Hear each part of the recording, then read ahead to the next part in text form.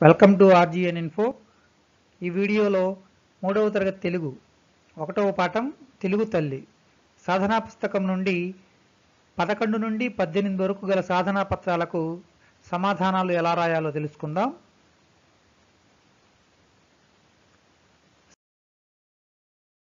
సాధన పత్రం పదకొండు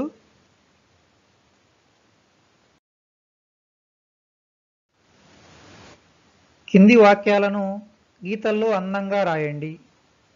ఇక్కడ ఇచ్చిన ఈ వాక్యాలను మనం కింద ఇచ్చిన గీతల్లో అందంగా రాయాలి. ఒకటి నేను మూడవ తరగతి చదువుతున్నాను. నేను మూడవ తరగతి చదువుతున్నాను. రెండు నాకు మామిడి పండు అంటే ఇష్టం. నాకు మామిడి పండు అంటే ఇష్టం. మూడు నేను తెలుగు తల్లి బొమ్మను గీశాను. నేను తెలుగు తల్లి బొమ్మను గీశాను. తరువాత కింది అక్షరాలకు గుణింతాలు రాయండి. ఇక్కడ మనకు కొన్ని అక్షరాలు ఇచ్చారు. ఖ థ ద న ప బ మా య. ఈ అక్షరాలకు మనం గుణింతాలు రాయాలి. గుణింతాలు రాసి ఈ పట్టికను పూరించాలి. తర్వాత ఈ ప్రశ్న చూడండి. పై పట్టికలోని అక్షరాలతో పదాలు రాయండి.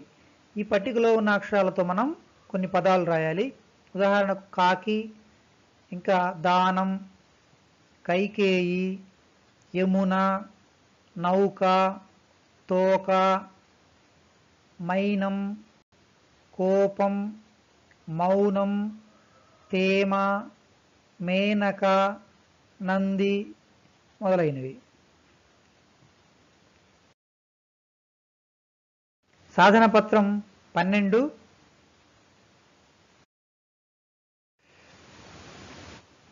తర్వాత కింది పదాలతో సొంత వాక్యాలు రాయండి. ఇక్కడ ఇచ్చిన పదాలతో మనం సొంత వాక్యాలు రాద్దాం. ఉదాహరణకు ఒకటి నడిచారు. పిల్లలు బురదలో నడిచారు. రెండు తడిశారు. పిల్లలు వర్షంలో తడిశారు. మూడు కురిసింది. ఉదయం కొండపోత వర్షం కురిసింది. నాలుగు ఆపింది. లత లక్ష్మిని పడకుండా ఆపింది. తర్వాత ఆ ప్రశ్న కింది గళ్ళలో కొన్ని అక్షరాలు ఉన్నాయి. మరికొన్ని అక్షరాలతో గళ్ళు నింపండి. వాటితో ఏర్పడే పదాలు రాయండి. ఇక్కడ కొన్ని అక్షరాలు ఉన్నాయి కదా. ఈ గళ్ళలో మనం మరికొన్ని అక్షరాలు రాసి కొన్ని పదాలు రాయాలి. ఇక్కడున్న అక్షరాలతో ఒక పదం రాశారు. త లా తల.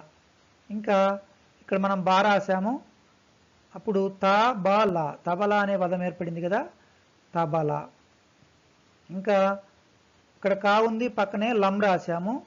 కలం. జలం.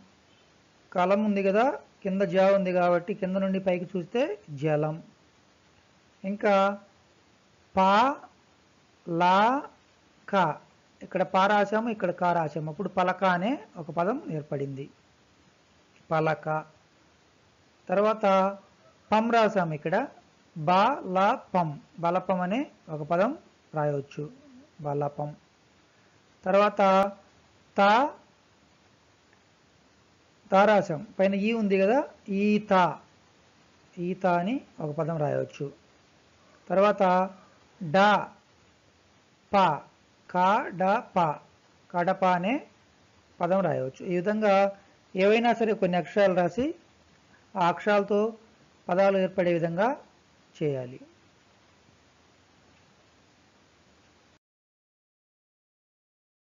తర్వాత ఈ ప్రశ్న విజయనగరం అనే ఊరి పేరులోని అక్షరాలతో కొన్ని పదాలు రాయండి. అంటే విజయనగరం అనే పదం ఉంది కదా ఈ పదంలో ఉన్న అక్షరాలతోనే మనం మరికొన్ని పదాలు రాయాలి. ఇక్కడ వి జ య నా గా రా సున్నా ఈ అక్షరాలతో కొన్ని పదాలు రాయాలి. ఉదాహరణ ఒకటి జయ రాశారు. జయ ఇంకా విజయ విజయం నగరం నరం వినయం గరం నగ. తర్వాత కింది అక్షరాలకు గుణింతాలు రాయండి. ఇక్కడ మనకు అక్షరాలు ఇచ్చారు ఖ గ ఛ ఝ. ఈ అక్షరాలకు గుణింతాలను రాసి ఈ విధంగా ఈ పట్టికను పూరించాలి.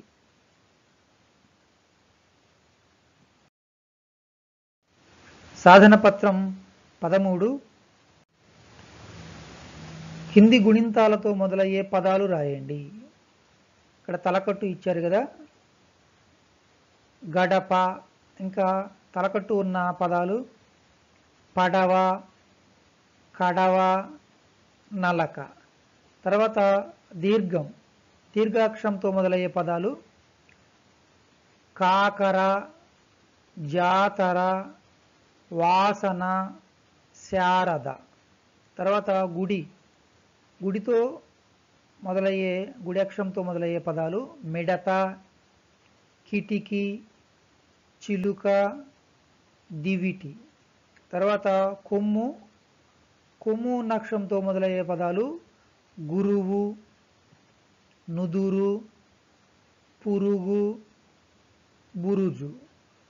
తర్వాత ఏత్వం ఏత్వము నక్షాలతో మొదలయ్యే పదాలు బెండ కెరటం గెలుపు తెలుగు.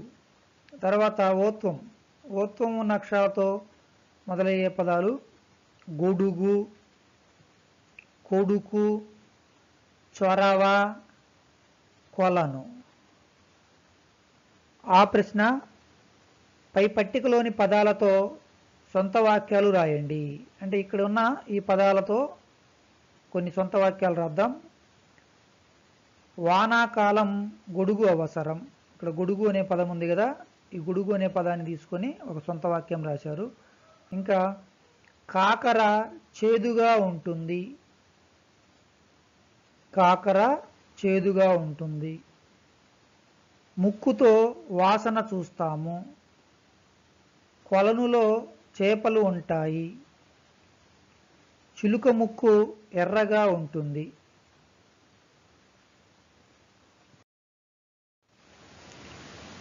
తర్వాత ఈ ప్రశ్న బొమ్మకు బదులు పదాలతో వాక్యాలు రాయండి. ఇక్కడ ఈ వాక్యంలో బొమ్మ ఉంది కదా ఆ బొమ్మకు బదులు ఆ బొమ్మ పేరు మనం రాయాలి. రాసి ఆ వాక్యాన్ని మళ్ళీ తిరిగి రాయాలి. ఉదాహరణకు చూడండి. ఒకటి పాప తలపై టోపీ ఉంది. ఈ బొమ్మకు బదులు టోపీ అని రాయాలి. పాప తలపై టోపీ ఉంది. రెండు కాకర చేదుగా ఉంటుంది. కాకర చేదుగా ఉంటుంది. మూడు రవి సీసాలో నీరు పోశాడు. రవి సీసాలో నీరు పోశాడు. నాలుగు నేను రైలులో ఊరికి వెళ్ళాను. నేను రైలులో ఊరికి వెళ్ళాను. ఐదు అమల ముఖానికి పౌడరు పూసుకుంది. అమల ముఖానికి పౌడరు పూసుకుంది.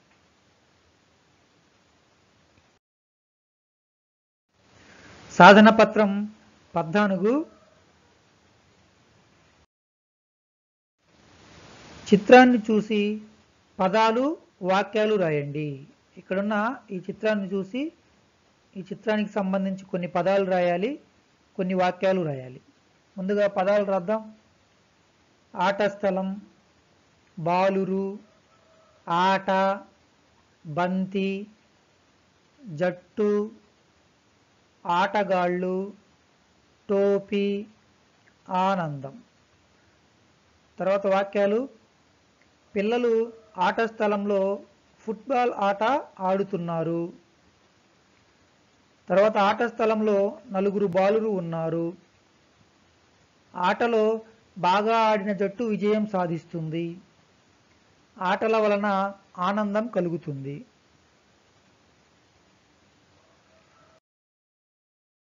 సాధన పత్రం పదిహేను మీకు నచ్చిన పువ్వు బొమ్మ గీసి రంగులు వేయండి. పాఠ్యపుస్తకంలో మీకు నచ్చిన ఒక పువ్వు బొమ్మ వేసి దానికి రంగులు వేయాలి.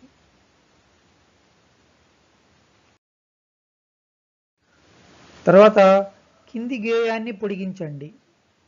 ఆవు ఆవు ఏమంటావు? అంబా అంబా అని నేనంటా. పిల్లి పిల్లి ఏమంటావు? మ్యావ్ మ్యావ్ అని నేనంట. కుక్క కుక్క ఏమంటావు?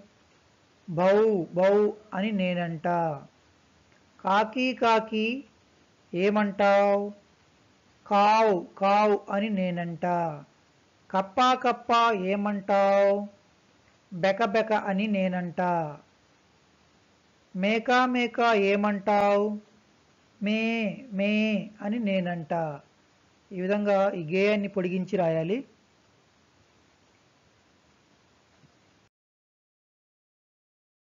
సాధన పత్రం పదహారు. కింది అక్షరాలతో మొదలయ్యే పదాలు రాయండి. ఆ అక్షరంతో మొదలయ్యే పదాలు అరక అమల అలజడి అవతల అలసట అవసరం అలవాటు. తర్వాత ఆ అక్షరంతో మొదలయ్యే పదాలు ఆట ఆకలి ఆరాటం ఆవు ఆవాలు ఆనందం ఆరంభం.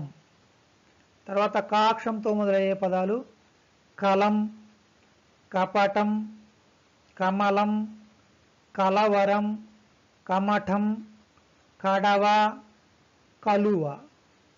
గాక్షంతో మొదలయ్యే పదాలు గంప గజం గళం గగనం గబగబ గద గమనం.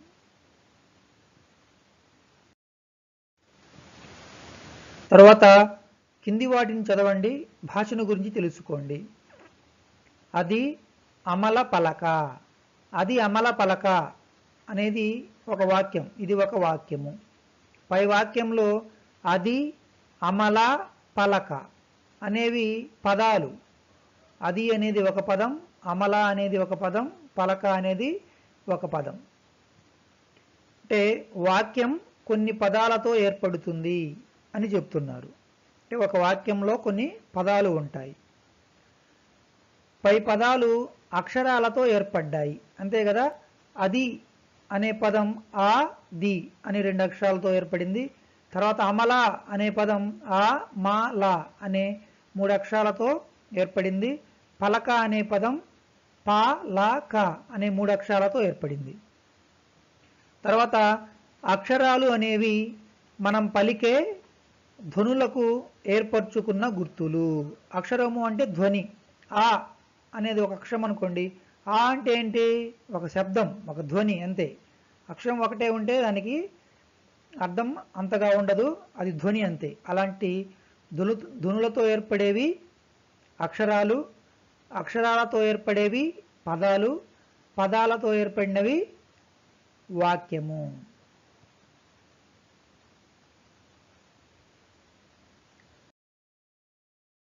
సాధన పత్రం పదిహేడు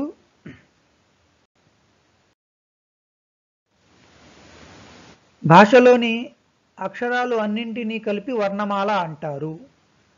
ఉన్నాయి కదా ఇక్కడ అచ్చులు ఉభయాక్షరాలు హల్లులు. ఈ మొత్తాన్ని కలిపి మనం వర్ణమాల అని అంటాము. తర్వాత వర్ణమాలలో ఆ నుండి అవ్ వరకు ఉన్న అక్షరాలను అచ్చులు అంటారు. ఇక్కడ చూడండి ఆ నుండి అవ్ వరకు. ఈ అక్షరాలను అచ్చులు అని అంటారు. తర్వాత ఖా నుండి రా వరకు బండి రా వరకు ఉన్న అక్షరాలను హల్లులు అంటారు. కా నుండి రా వరకు ఉన్న అక్షరాలను హల్లులు అని అంటారు. తర్వాత అం అహలను ఉభయాక్షరాలు అంటారు. చూడండి ఉభయాక్షరాలు రెండు. అం అహ.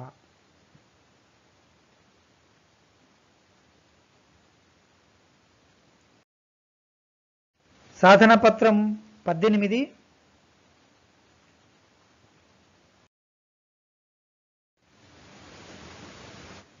చూడండి.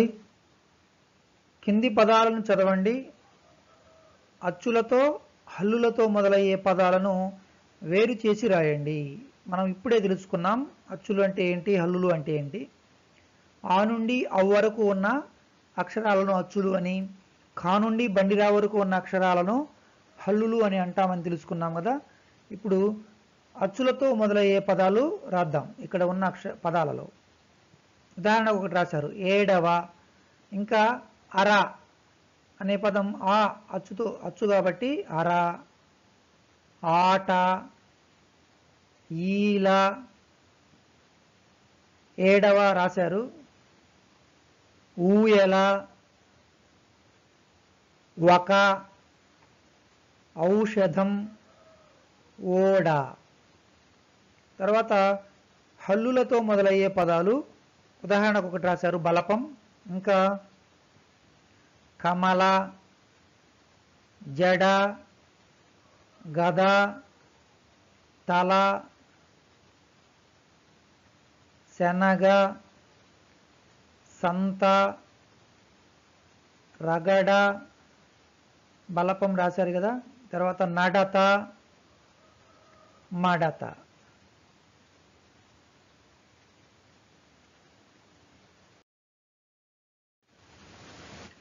కింది పదాలను చదవండి. పట్టికలో అడిగిన విధంగా వేరు చేసి రాయండి. ముందుగా పదాలను చదువుదాం. కాకర పిలక ముడత బాలిక తిలకం కురుచ నూరు జాతర చూరు కిరణం వారం నిలయం సూచన గుణపం బుడగ దూరం. తర్వాత చూడండి. దీర్ఘంతో మొదలయ్యే పదాలు. ఇక్కడ మనం దీర్ఘంతో మొదలయ్యే పదాలను రాయాలి. ఉదాహరణకు కాకర. కాకు దీర్ఘం ఉంది కదా అలా దీర్ఘాక్షరాలతో మొదలయ్యే పదాలు రాద్దాం. కాకర తర్వాత బాలిక జాతర వారం. తర్వాత గుడితో మొదలయ్యే పదాలు పిలక ఇంకా తిలకం కిరణం నిలయం. తర్వాత కొమ్ముతో మొదలయ్యే పదాలు ముడత తర్వాత కురుచ గుణపం బుడగ. తర్వాత కొమ్ము దీర్ఘం. అక్షరాలతో మొదలయ్యే పదాలు నూరు. తర్వాత చూరు. సూచన. దూరం.